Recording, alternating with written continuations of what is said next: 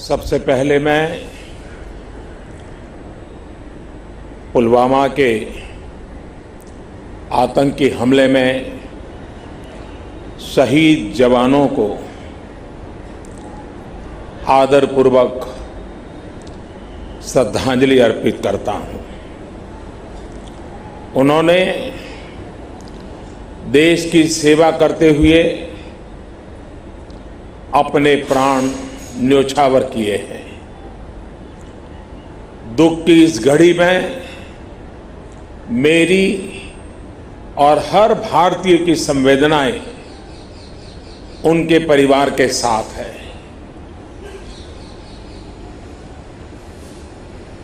इस हमले की वजह से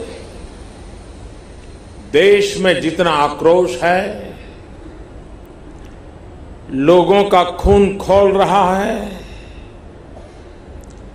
ये मैं भली भांति समझ पा रहा हूँ। इस समय जो देश की अपेक्षाएँ हैं, कुछ कर गुजरने की भावनाएँ हैं, वो भी स्वाभाविक है। हमारे सुरक्षा बलों को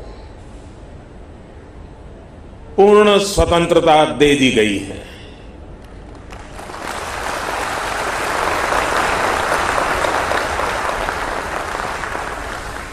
हमें अपने सैनिकों के शौर्य पर,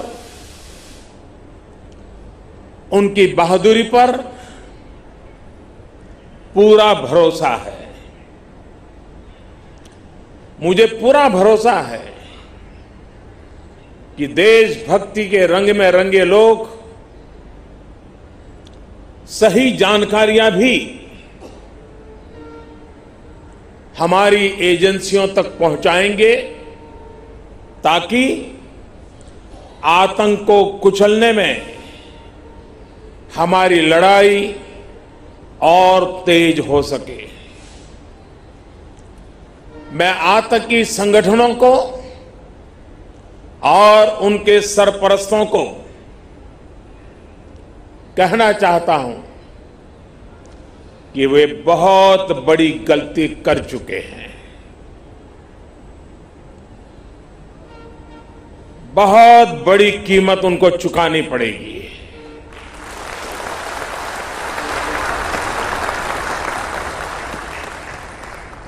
मैं देश को भरोसा देता हूँ